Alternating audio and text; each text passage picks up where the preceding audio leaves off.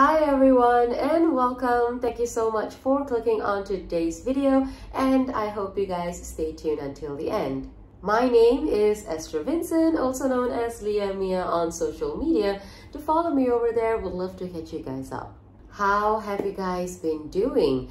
I hope wherever you are and whatever you're doing, I hope it's going good for you all. You guys are staying safe and sound. Today I've got my curly hair up and it's all frizzy and I tried making it work. Well, I'm just gonna embrace it. This is my original hair. I have curly hair. I have had straight or wavy hair for the longest time ever since I was like in the teenage and I've been slowly transitioning back to my curly hair. So today I thought, why not just come up with my curly hair and not straighten it? I'm gonna embrace it because this is me. Have you guys catched my previous video? It was a crime story that took place in my country, Malaysia, and it was a sad one. It involves an eight-year-old's abduction, sexual assault, and murder, Nurin Jazlin Jazimin. If you guys have not checked that out, I will leave the link down below in this video's description box or at the end of this video you will see the pop-up. You guys can click on it and you know that video will play. Give that a view as well. Thank you. Now as for today I'm going to introduce you guys to a supernatural creature that is widely believed in my country Malaysia. Because mm -hmm, y'all know we've got loads of them. I think every country has a lot of legends and you know these kind of supernatural creatures. But this is one tiny little creature that I would say most Malaysians believe. Not just Malaysians, we have neighboring countries that believe in this little guy too. Which mysterious supernatural creature am I talking about here? Well, this is the story of the Toyol. What is Toyol? Well, Toyol is a mystical supernatural creature believed from Malaysian folklore. Like I mentioned in the beginning, there are many similar beliefs of this creature in our neighboring countries. In Indonesia, it is called Tuyul with the spelling of T-U-Y-U-L, which literally means mischievous thief. Tiyanak is a Tuyul-like creature believed in the Filipino mythology. And in Thailand, there is a very legendary creature similar to Tuyul named Kuman Thong. Yes, Kuman Thong. The belief of the creature's origin and the creature's purpose also differs with each country. In this video, I am going to be talking about the Toyol with the spelling of T-O-Y-O-L that we Malaysians kind of sort of believe. Well, not everyone nowadays believe. Those days though, those days when I was young, my parents' age, well, a lot of people used to believe them. But nowadays, we are in the technology era, we are in the IT era. There is no belief in supernatural creatures. We've got, you know, the 2000s kids. I don't think so they believe. Not everyone. I'm not going to talk for everyone here. But yeah, those days, we 90s kids, the 80s kids, we used to believe in it. But yes, I am going to be talking about Toyol the one that we Malaysians believe. So where and how this creature, Toyol, came to be? There are many, many versions on how these creatures came to be. Some believe that this is a child's spirit invoked by Bomohs. Bomohs are Malaysian shaman from dead human fetus or aborted babies using black magic. Other versions say that Toyol is an offspring of the jinn, the pre-Islamic supernatural creature, or more like the devil. So this jinn's offspring, which is said to be the Toyol, was either kidnapped from the jinn or a deal will be made between the jinn and the owner to raise the Tuyul for themselves. Meaning whoever wants to own this particular creature, the Toyol, they would have to sort of like make a deal with the jinn to say that, you know what, I'm going to raise your offspring. I will take care of it. If you're okay with that, let's make a deal. Sort of like that. I hope you guys understand what I'm trying to say here. It's either You know, the Toyol is either kidnapped from the jinn, which is the supposed devil, or I'll take care of your baby. Let's make a deal. So yeah, that's one of the beliefs. The Toyol is said to be a very hideous looking creature.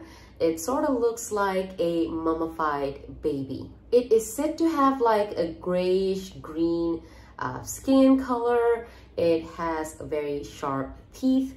It has a bulgy, bulb looking head, pointy ears, and some also say that it has bloodshot red eyes. You can imagine seeing something like that lurking around and not getting a heart attack. Some say the creature resembles a goblin, and this creature would mostly be kept away in a dark place or inside of a jar until its assistance is needed. What do I mean by its assistance is needed? Well, like what the Indonesians call it, the toyol is definitely a mischievous thief. People who are summoning the Toyol or agreeing to raise one are literally making a deal with the devil. Why are they risking their life or taking such a big risk?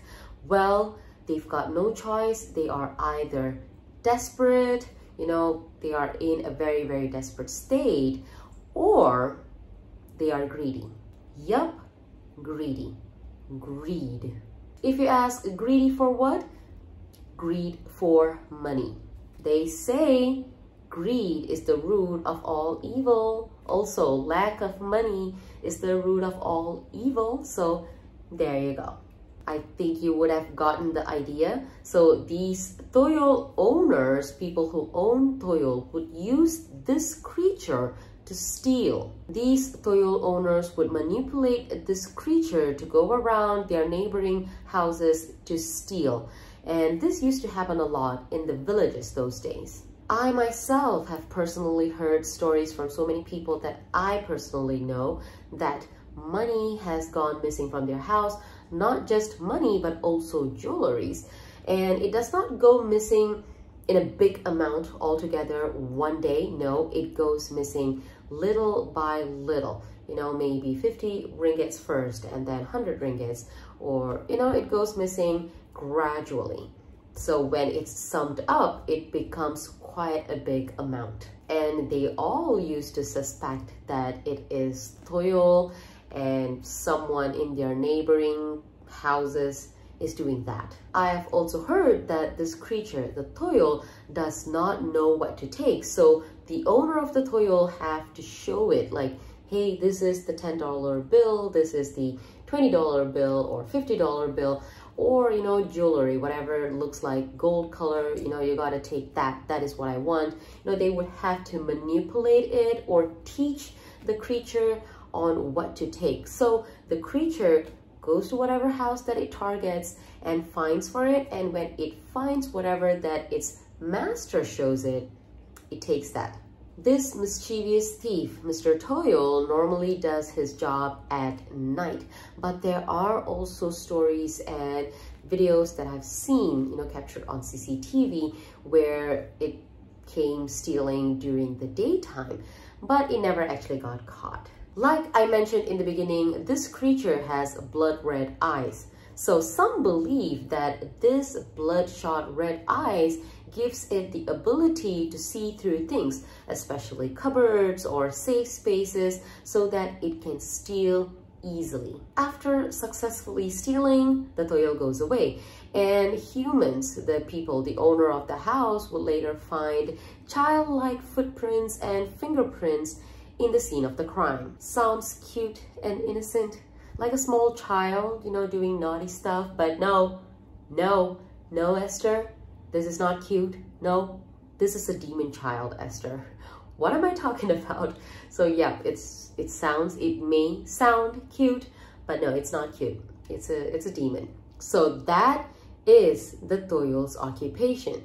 That is what humans use the creature to do. And as a reward, it would be fed and taken care of by the owners. The Toyol's main food source is blood.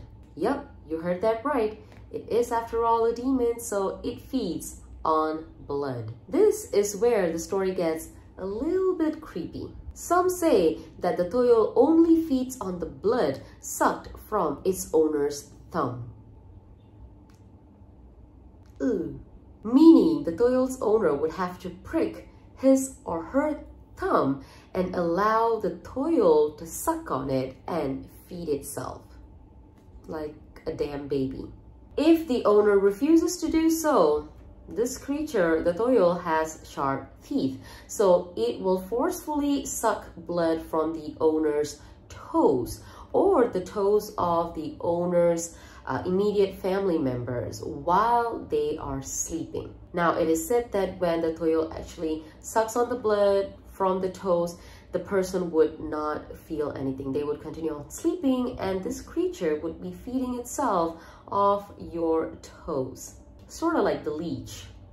Yeah, they say, you know, leech, when it's latched onto you, sucking your blood, you don't feel anything. I don't know. I've never experienced that. But yeah, sort of like that, they say. Toyol also eats milk and eggs. Some sources mention that Toyol needs to be taken care of like a child, meaning it needs to be given candies and sweets and toys. Talking about toys, the nature of Toyol is that like of a slave child. It liked to play with toys, more like, you know, curious about the toys. And it is said that if ever at all, while the Toyol is on its stealing spree, it comes across a toy, it would be playing with that toy till the dawn, forgetting what the master has ordered it to do. Now I sort of feel sad for it because Esther, no, stop it. Stop it, girl. No. oh, God. There are some prevention methods taken by the people those days to avoid their valuables to be stolen by this creature. Placing needles under the money can ward off this childlike creature because it is afraid of being hurt by sharp objects. Mirror is said to do the same trick as well as the toyol is afraid of its own reflection. Toyol can be treated as a child as well by distracting it. Like I mentioned, it is a very playful creature. So Toyol would get very distracted with marbles or beans. So when you maybe pour around some marbles or beans, the creature would slowly start counting them one by one till the dawn. Or the one that I mentioned earlier, toys. These creatures get very, very distracted by toys. So if you leave very peculiar toys around your uh, valuables, this creature would get very distracted by the toys, playing with it until the dawn, forgetting its task. Now, at the end of the agreement, when a master or the owner of Toyol comes to an end of the agreement made with the jinn earlier in order to, you know, have uh, the toyol, there are some rituals that needs to be taken place, that needs to be done in order to set the creature free. After all the needed ritual is done, the urn or the tablet needs to be carefully buried in a graveyard to set the spirit to rest or there are also some sources that say that the urn or the tablet can be thrown into the sea to set the spirit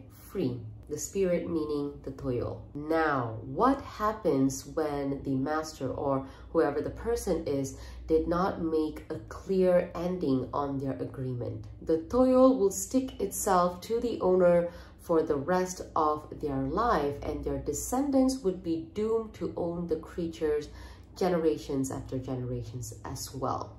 Now that's scary. That's why they say don't involve yourself with the supernatural because you just don't know what can go wrong. In 2016, a fisherman while fishing found a glass jar, a very small glass jar hooked to his fishing net. When the fisherman inspected the jar, inside of it he found a black figure which looked like a frail human baby or an unborn fetus which had a pair of bloodshot red eyes. Sounds very much like a toyol to me. To his horror, he was convinced that he had stumbled upon a toyol which had been disposed on the sea. Well, yeah, me too. I believe that as well, Mr. Fisherman. He then later passed that glass jar to a Bomoh, Malaysian shaman, and the Bomoh later on passed it to a museum. Why the museum? I don't know.